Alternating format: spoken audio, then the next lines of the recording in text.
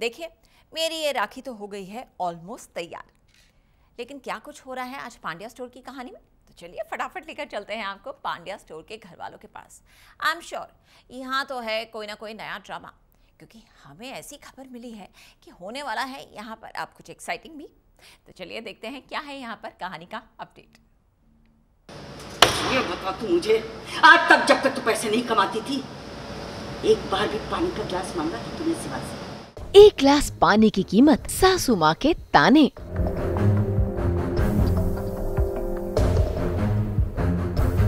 एक ग्लास पानी की कीमत घर में तमाशा। क्या ना हमारा सोशल मीडिया का मच्छर बाहर गुनगुन करके आया ना? गला सूख गया होगा।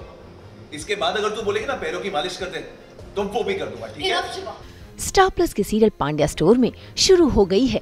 घर घर की कहानी, क्योंकि रावी ने शिवा से मांग लिया है, एक ग्लास पानी। जरा देखिए, कैसे रावी के एक ग्लास पानी की डिमांड ने घर में बखेड़ा खड़ा कर दिया है। पहले तो शिवा रावी पर भड़का। ये देख रिश्ता भी रावी के सपोर्ट में आ गई। इतना तमाशा होने के बाद जैसे ही शिवा रावी के लिए एक गिलास पानी लाया तो देखिए कैसे सुमन ने शिवा के हाथ को पकड़ लिया और सुना दिए अपनी बहू रानी को ताने।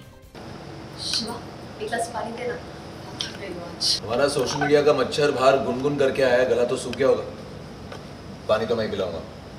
इसके बाद अगर तू बोलेगी ना पैरों की मालिश कर दे तो वो भी कर लूँगा ठीक है?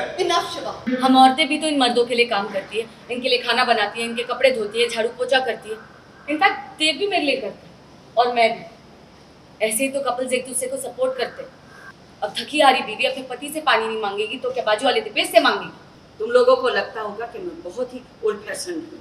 बात ये नहीं है तरीका होता है बात करने का। जब मेरे बच्चे पोछा, झाड़ू, बर्तन, कपड़ा सब कर सकते तो पानी देने में क्या दिक्कत है? ये बता तू मुझे। आज तक जब तक तू पैसे नहीं कमाती थी, एक बार भी पानी का ग्लास मांगा था तूने सिवा से नोक झोंक है, चलती रहेगी, देखते हैं अब ये नोकझोंक और ईगो क्लैशेस कहाँ तक जाते हैं, कहाँ तक नहीं। क्योंकि ऐसा होता है घरों में, कपल्स में, जब अचानक से कोई टेक ऑफ़ मारता है और चीज़ें थोड़ी चेंज होती है और आपको वो चेंजेस से अडेप्ट करने में थोड़ा टाइम लगता है।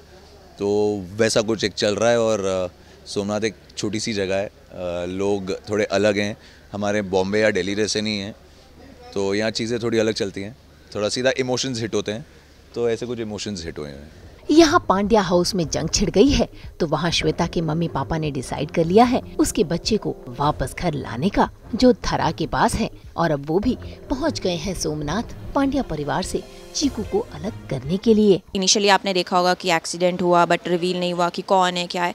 तो अभी धीरे धीरे दिखा रहे हैं कि कौन है श्वेता, कहाँ से आई है, कहाँ को बिलोंग करती है। अभी वो वापस अपने बेबी को चाहती है नहीं चाहती है तो ये सारे क्वेश्चन मार्क्स हैं। वो चाहती भी और नहीं भी चाहती। सिचुएशन ऐसी है कि उसको समझ नहीं आ रहा कि करा क्या जाए मतलब अकेली लड़की बेचारी कहाँ जाएगी। सो so, ये सारे कॉन्फ्लिक्ट्स चल रहे हैं अभी स्टोरी में और देखते हैं अभी आगे क्या होता है। जंखना जो जिसका रोल मैं प्ले कर रही हूँ तो जो जंखना है वो रावी की बहुत बड़ी फ़ैन है और वो हमेशा उसकी फैमिली को बहुत एडमायर करती हैं। तो उन्होंने सपना भी देखा था कि श्वेता को एक ऐसी ही फैमिली मिले।